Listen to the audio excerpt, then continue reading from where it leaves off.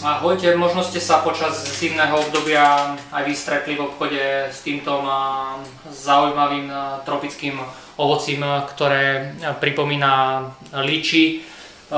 Jedná sa o longan, pochádzajúci z tropických oblastí juhovýchodnej Ázie. Ako už teda vidíte podľa toho vzhľadu, ktorý pripomína to liči, sú veľmi príbuzné z liči, prípadne viac tropickou rastlinou rangbutan. Tá chuť, chuť tých plodov je trošku možno menej, menej výrazná alebo príjemná ako, ako liči, avšak chuť je pomerne dobrá, plody sú viac sladké ako liči s jemnou takou nejakou uh, rumovou uh, aromou, príchuťou. Plody sa šupú rovnako ako no, plody liči, takže tú šupu toho plodie olúpeme, a plot, eh, plot si dáme do úst, vyplujeme to tmavé, tmavé tvrdé semínko, ktoré je vo vnútri. Longan eh, môžeme sa teda niekedy stretnúť aj pod eh, názvom Dragon Eye alebo dračie oko.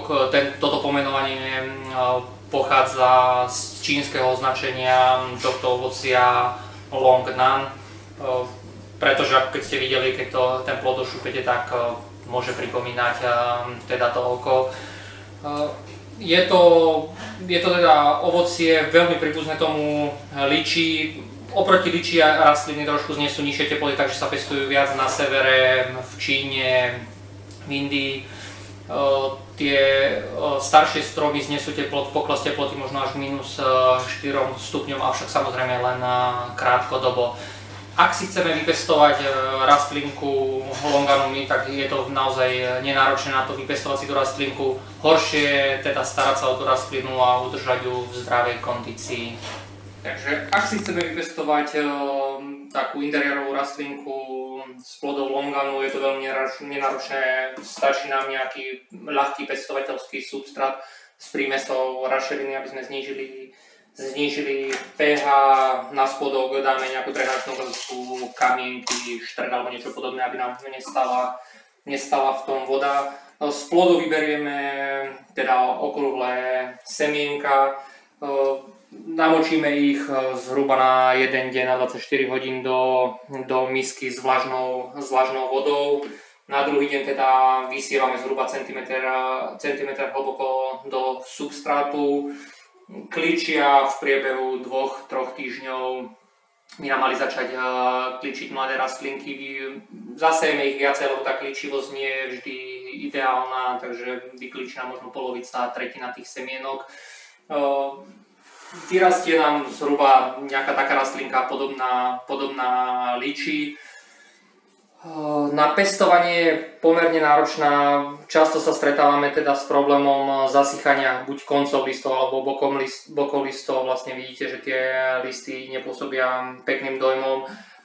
Zväčša je to spôsobené možno príliš zasaditým pH substrátu, ďalej s tým, že zimujeme v teple v byte rastlinka pre rastlinku je optimálne, ak má zimný odpočinok, takže e, počas zimného obdobia umiestni niekde, kde je teplota možno okolo 10 e, do 15 stupňov, vtedy si rastlinka uh, trošku odpočíne, spomalí, spomalí metabolizmus a, a na jar zase nám vlastne môže pokračovať v tom raste. Počas sezóny pri hnojiveme nemusíme nejako často, stačí raz za mesiac s nejakým kvapalným hnojivom, počas zimy toto hnojenie úplne vynecháme, polievame pravidelne, keď teda ten substrát preskne, presádzame teda podľa toho, keď nám začne, keď nám teda ten, tú nádobku prerastú, tie korene vidíme, že korene vyrastajú vonku, vtedy, vtedy presadíme. Ako som spomínal, nie je to príliš, no, príliš vďačná rastlinka z toho dôvodu, teda, že tie, hlavne tie listy budú nám zasychať a e, nie, nie je ideálna možno ani pre tých začiatoč, začiatočníkov, pestovateľov, ale keď chceme, tak teda takto jednoducho si môžeme tú rastlinku vypestovať. Ak sa chcete dozvedieť viac, e, nie len teda o pestovaní longanu, ale aj iných ďalších exotických rastlín, e, pozerajte našu internetovú stránku www.citrusar.sk, prípadne sa pridajte do našej facebookovej skupiny Citrusar.